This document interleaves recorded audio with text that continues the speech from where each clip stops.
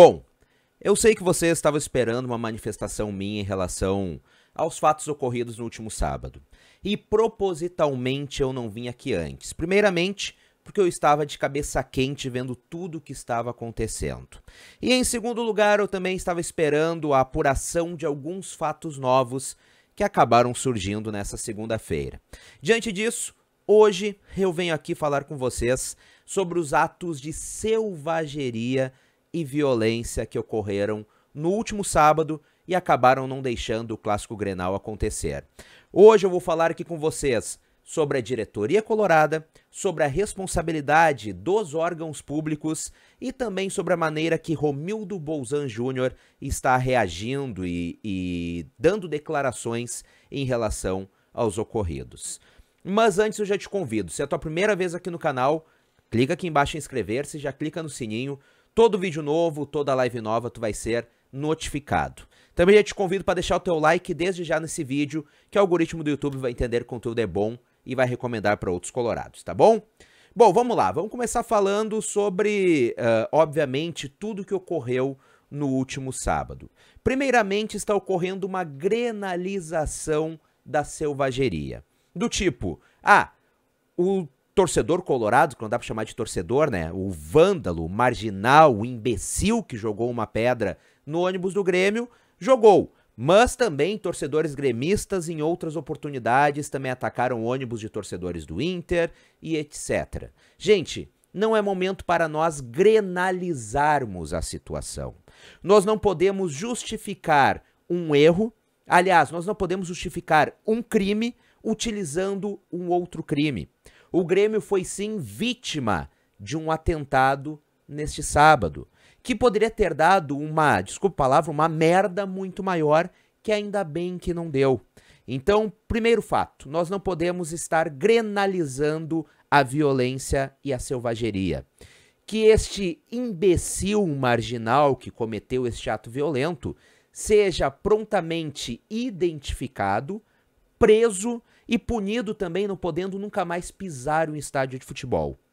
Gente que age desta maneira não pode frequentar um espaço onde pessoas levam seus filhos, levam suas esposas e muitas vezes vão somente para acompanhar o seu time do coração e aproveitar um programa em família. Ponto. Ponto número 2. Uh, ah, também estou vendo uma série de teorias de conspiração nas redes sociais que haveria um grande complô entre os médicos do Grêmio, os médicos do Hospital Moinhos de Vento e a diretoria gremista para forjar uma lesão para o Vidiaçante. Gente, isso não existe. Não tem nenhuma teoria de conspiração. O Vidiaçante, sim, teve um traumatismo craniano, teve uma concussão cerebral, mas apesar destes nomes causarem um grande espanto, causarem um grande medo, nem sempre é algo grave. Há casos de traumatismo craniano onde a pessoa se recupera em um ou dois dias. Não há nada de errado no Vidiaçante estar treinando hoje no Grêmio. Ele treinou nesta segunda-feira, dando voltas no gramado. Não teve nenhum contato físico, não foi nenhum treino normal. Foi dando voltas no gramado e não há nada de errado nisso. Não há espaço nisto para criar teorias de conspiração e acabar acirrando ainda mais os ânimos, tá bom? Ponto 2. Agora vamos ao ponto 3. A diretoria colorada. Ao meu ver, o presidente Alessandro Barcelos foi muito infeliz em suas declarações no calor do momento no sábado, principalmente quando ele culpa a imprensa também pelos ocorridos. O presidente do Internacional disse que a imprensa também tem culpa por colocar torcedores contra jogadores. E ao meu ver, o presidente errou por um simples motivo: a generalização. Quando tu fala imprensa sem citar nomes dos veículos ou dos jornalistas que fazem este tipo de movimentação, digamos assim, tu acaba colocando todos os profissionais da imprensa no mesmo balaio. Ou seja, tu acaba generalizando todos os profissionais por cagadas feitas por meia dúzia. E aí é o grande problema. Ao meu ver, o presidente errou em sua declaração e, infelizmente, nós já vimos após isto, e não quer dizer que seja devido à declaração do presidente, mas nós vimos o que este tipo de discurso muitas vezes pode causar. Nós vimos jornalista do SBT sendo atacado no pátio do Beira Rio e não podendo exercer o seu trabalho. Repito, Não digo que é por culpa da declaração do presidente Alessandro Barcelos, mas este tipo de declaração, infelizmente, acaba corroborando com ódio contra a imprensa. E sim, eu sei que provavelmente tu pode estar pensando, não, mas alguns jornalistas realmente acabam inflamando o ambiente. Concordo. Eu não vou tirar uh, a culpa de toda a classe. Alguns não acho que tenham culpa pelos atos de vandalismo. Não, acham que, não acho que tenham culpa pelos atos de violência. Mas alguns acabam inflamando mais do que deveria o ambiente. Só que neste caso, ao meu ver, o presidente Alessandro Barcelos deveria dar nome aos bois, deveria citar os jornalistas, deveria citar os veículos, do que colocar todos dentro do mesmo balaio, dentro do mesmo saco. Mas na noite do sábado também o presidente já utilizou suas redes sociais, se retratou, disse que errou, e está tudo bem. Agora vamos pular para o lado gremista da história. O Grêmio tem todo o direito de se sentir mal com a situação. O Grêmio, sim, foi vítima, repito, de um atentado e não há nada que diminua o que aconteceu, tá bom? Mas, ao meu ver, o presidente Romildo Bolzan Júnior não está agindo da melhor maneira possível em relação aos ocorridos. Repito mais uma vez: sim, o Grêmio foi vítima de um atentado e eu não estou aqui para diminuir isto. Isto não pode ocorrer novamente. Mas a maneira que o presidente Romildo tem se expressado diante dos fatos que tem me incomodado. Primeiramente, ele disse em uma rádio da capital que o poder público não teve culpa nenhuma sobre o que ocorreu. Mas, ao mesmo tempo, ele também diz que ele buscará uma punição para o internacional. Ou seja, Segundo o presidente gremista, o poder público não tem culpa nenhuma por um fato que ocorreu em via pública em um ônibus escoltado por agentes públicos, mas vai procurar uma punição para o internacional que não era responsável pela segurança em via pública. Gente, o Inter é responsável pelo que ocorre no pátio do Beira-Rio e dentro do estádio. O fato, como as próprias imagens da TV Grêmio mostram, ocorreram em via pública. A partir do momento que tu exime o poder público de uma responsabilidade por algo que estava sendo feito em via pública, sendo escoltado por agentes públicos, e acaba querendo culpar o clube por algo que não estava sob seus domínios, me parece um certo clubismo e uma certa caça às bruxas. Outra coisa que, ao meu ver, Romildo também se manifestou muito mal. Ele parabenizou a torcida gremista pela postura exemplar e pacífica no clássico Grenal, sendo que antes de suas declarações, a imprensa já havia divulgado, inclusive com imagens, uh, atos de vandalismo no Beira-Rio por parte da torcida gremista, banheiros quebrados, cadeiras arrancadas e arremessadas contra a torcida do Internacional. E mesmo assim, o presidente gremista acaba saudando a sua torcida e parabenizando por postura pacífica. Gente, eu não acredito que Romildo Bolzan, tão bem informado como é, não tenha visto as imagens de vandalismo.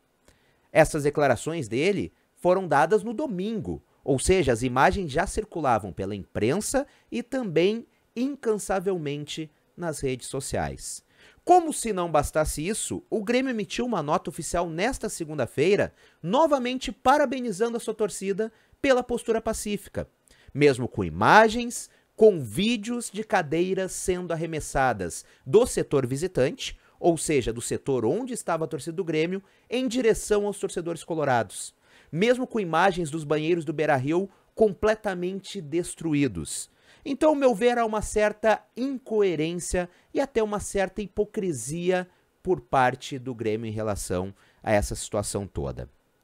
E, em terceiro lugar, no sábado nós tivemos uma entrevista coletiva conjunta entre o presidente da Federação Gaúcha de Futebol, Luciano Oxman, e também o presidente do Internacional, Alessandro Barcelos. Nós poderemos também ter Romildo Bolzan nesta entrevista coletiva. Ao meu ver, seria inclusive essencial que Romildo estivesse junto do presidente do Internacional e do presidente da federação. Ali era o momento de demonstrar união e pedir paz, seria um ato histórico, após, infelizmente, um ato de selvageria absurda que acabou cancelando um dos maiores clássicos do planeta, nós vermos lado a lado os presidentes de Inter, Grêmio e também da Federação Gaúcha de Futebol pedindo paz, tentando acalmar os ânimos. Mas Romildo não ficou.